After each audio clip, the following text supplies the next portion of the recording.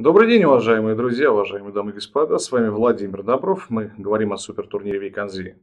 Шестой тур принес интересные результаты. И сегодняшняя партия дня, о которой мы поговорим, будет партия Александра Донченко против Альреза Феруджи. Ну а результаты накануне, как сказать, пересечения экватора следующие.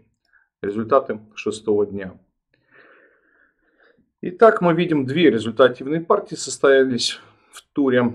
И Хорден Ван Форест одержал первую победу над испанским шахматистом Давидом Гехаро. Ну, а вот Альриза Феруджа, а, скажем так, для многих, а, безусловно, тоже приятный результат принес. Для многих болельщиков этого молодого и яркого таланта. Он, в свою очередь, обыграл Александра Донченко. Но скажу, э, забегая вперед, что партия была далеко не самой простой и не самой качественной, однако начинка в ней была достаточно интересной. Итак, приступим к разбору этой партии. Феруджи играл черными, Александр Донченко, дебютант э, соревнования, имел белый цвет. Итак, в итоге был разыгран такой гибрид э, так называемого ферзевого гамбита, связанный с Рогозиным, в итоге который перешел в классическую, что ни, ни на есть, систему Нотебоума. Система Нотебоума, известного шахматиста, в общем-то, она возникла форсированно после следующих ходов. Итак, b3, конь f6, а, прошу прощения, слон b7, да, конечно, да, ни в коем случае нельзя перепутать. И после bc, b4, слон b2, конь f6 возникла известная табия. Табия, которая ну, игралось уже на протяжении многих-многих лет. Вариант очень э, интересный, вариант обоюдоострый. И оценки, варианты, конечно же, менялись. И вот одним из классических, так сказать, планов, который стал наиболее перспективным, стал ход конь d2, который поддерживает движение f4 с последующим возможным и e4 основная идея белых в том, чтобы э, защититься от такого вот хода Е5. Но у черных свои козыри. Это прежде всего далеко надвинутые пешки. Опять в b4 они могут в какой-то момент двинуться. В частности, если удается пешку с d4 убрать, у черных прекрасная стоянка на c5. И э, часто черные даже путем жертвы пешки Е эту, это поле занимают. Эту позицию для коня образовывают. Ну а белые, соответственно, стремятся играть в центре, как я уже сказал, по возможности захватить пространство полностью. И вполне возможно потом открыть своих слонов и сыграть на короля. И вот после хода конь d2 черные сразу же ответили e5. Ход, в общем-то, стандартный. Но а, не сказать, что пользуется он очень такой хорошей репутацией, опять-таки. Тем не менее, ход на игру. Ну, брать, конечно же, здесь не, не очень удачно, потому что после хода DE у черных есть как конь бьет Е5, так и, возможно, еще и ход конь С5. Но это дело, дело такое, дело вкуса. Конечно, на Е5 проще взять. И поэтому Донченко сыграл слон С2. Слон С2, ферзь С7. Все эти ходы разумны. И здесь, пожалуй, первый момент, где надо было начинать точнее продолжать играть по классическим канонам. Классические каноны были связаны все-таки с ходом d5 и изменением рисунка борьбы. В этой позиции Александр Донченко сыграл очень мягко. Он сыграл h3. Ход явно не из этой оперы. И теперь черные имеют определенные темпы для улучшения своей позиции. А после хода h3 последовал подготовительный ход ладьи e8. Достаточно крепкий, классический ход опять-таки белым необходимо сейчас на что-то решаться. И э, Александр сыграл слон b3. Ну что ж, ход в принципе вполне разумный. Можно было слон также отправлять и на а4. Единственное, что он где-то под размен слонов попадал, который, возможно, на руку черным. Но так или иначе, после хода слон b3 белые в некоторых позициях, э, возможно, играют c5 и впоследствии отправляют коня в район поля d6. Ферруджи сыграл h6 предложил высказаться, и э, Александр э, сделал достаточно невнятный ход, на мой взгляд, э, и этот ход оказался явно неудачным. Опять-таки, он сделал ход конь в 3 Конь таким образом сделал два таких вот передвижение, сделал ход и конь d2, потом вернулся на f3. И на руку, скорее всего, это оказалось черным. Естественно, Феруджа здесь поднимает очень сильный ход. Ход ладья а6. Ход просто гениальный. Идея этого хода в том, чтобы при случае ладья, после, скажем, взятия на d, конь идет на e4, ладья в некоторых вариантах может отправиться даже на поле g6. Очень глубокий позиционный ход, очень сильное решение, на которое, конечно, надо похвалить иранского мастера. Итак, ладья 6 конь бьет Е5, конь бьет Е5. Решил э, Донченко изменить структуру. И здесь э, сыграл Феруджа конь d7. Может быть, более амбициозно все-таки было конь e4, потому что э, конь в любом случае направлялся на c5, но здесь периодически еще дополнительные какие-то мотивы, связанные с вторжением коня на d2 были. Однако, видимо, сыграв конь d7, он полагал, что будет работать с пешкой e5 и пытался как бы сохранить Э, сохранить прежде всего э, пешки, а, паритет в пешечном э, материале. Так, f4 все-таки Донченко сыграл, сыграл достаточно принципиально, попытался эту пешку защитить, однако у черных теперь сверхпростая игра. Конь c5, и теперь пешки начинают двигаться, в то время как пешки белых пока стоят. Однако, опять-таки, забегая вперед, пешки в какой-то момент могут пойти, и они пошли. Итак, слон c2 спрятался пока. Донченко спрятал слона. И после хода а4 возникла достаточно крайне интересная позиция, в которой белым необходимо было э, играть очень конкретно, так как пешки уже совсем близки к продвижению, к дальнейшему продвижению. И пошел вперед ходом f5 Александр. И, в общем-то, мы знаем, что он никогда не боится пойти вперед. В партии с Каруана у него был похожий момент когда, в общем-то, он совершенно неясно стоял, пошел вперед, и кто знает, сыграем по-другому, Каруана мог бы там иметь проблемы.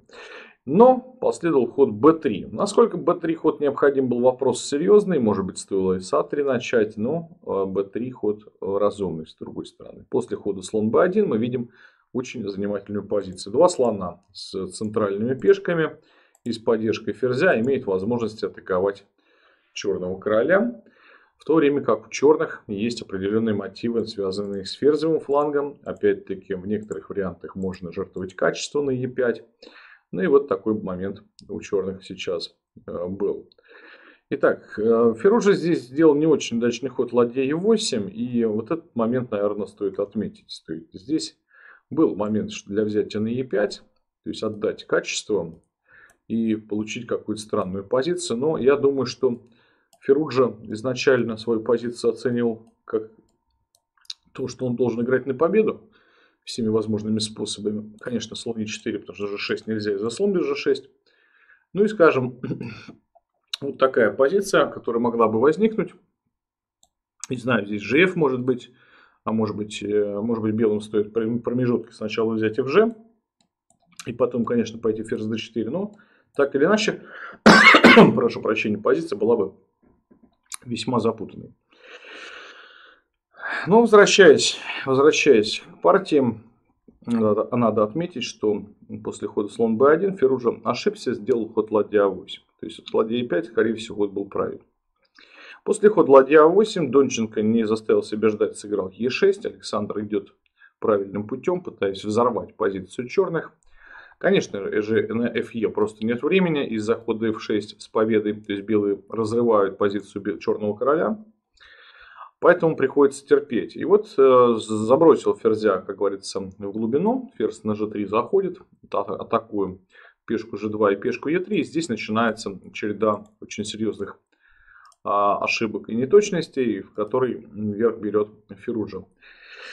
Необходимо сыграть было ферзь e2, и таким образом контролируя э, и пешки, и сохраняя ресурсы атаки.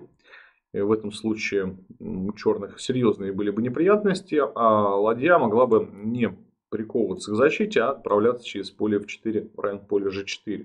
То есть ферзь e2 был здесь критическим ходом, критическим выбором.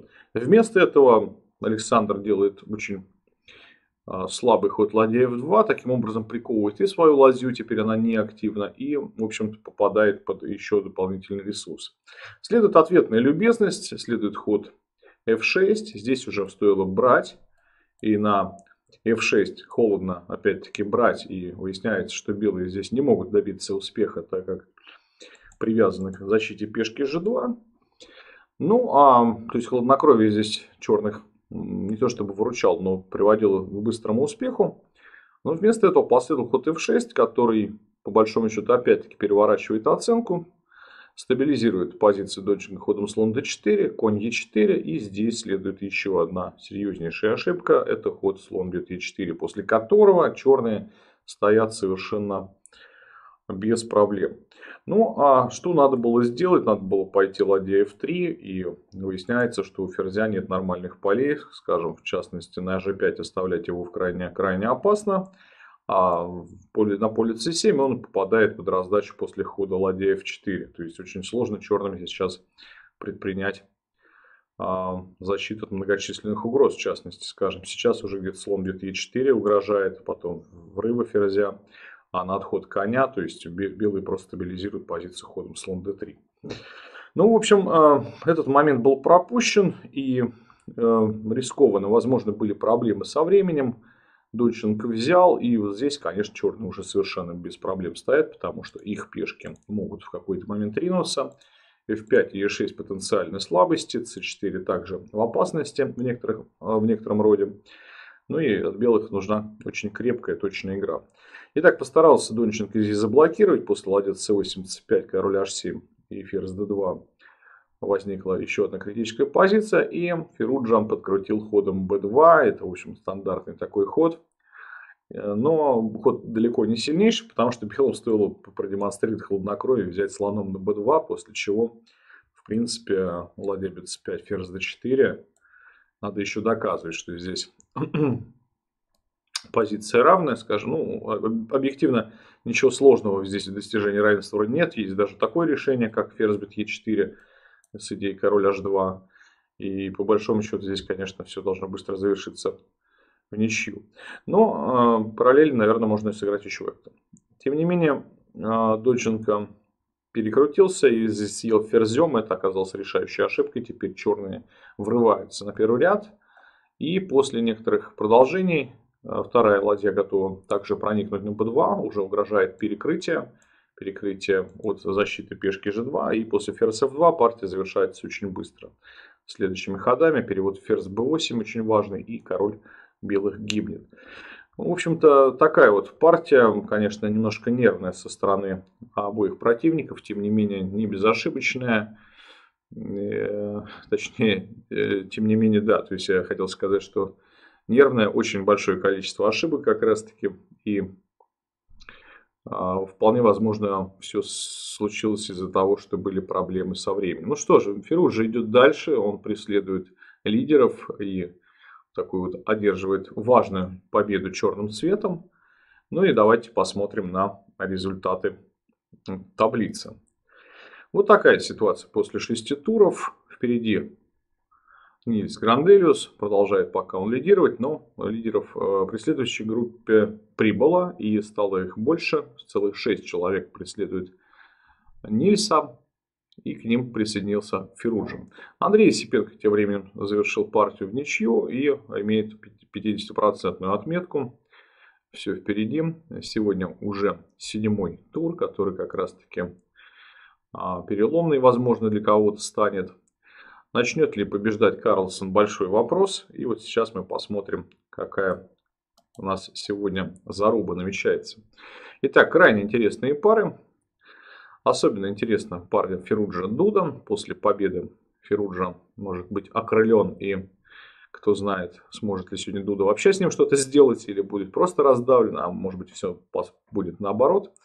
Это мы увидим. Ну и, конечно, Фабиан Куруана против Аршила Аграва безусловно, крайне интересная пара, которая заслуживает уже серьезных, серьезного внимания. Ну а Магнус Карлсон будет экзаменовать Хари Кришну, скорее всего, каких-то ферзевых гамбитах или испанских партиях.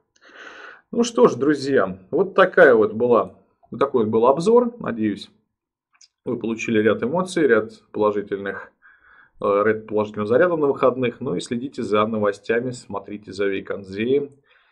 А, будем благодарны а, вам за ваше внимание. Ну что ж, друзья, всем пока, до новых встреч.